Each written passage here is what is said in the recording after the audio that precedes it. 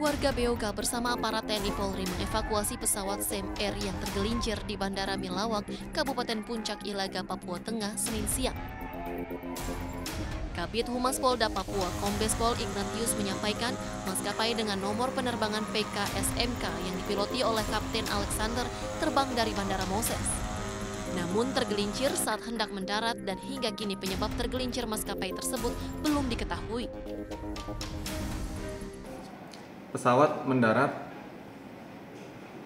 dengan ban depan pecah sehingga tergelincir keluar dari landasan.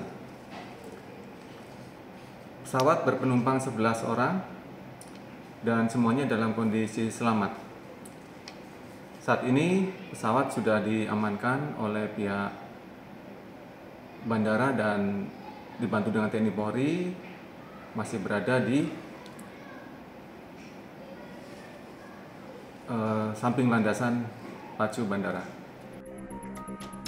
Sebelumnya pesawat jenis Twin Otter milik maskapai CMR yang bermuatan 11 orang bersama tiga kru tergelincir di lapangan terbang Beuka dan keluar dari runway.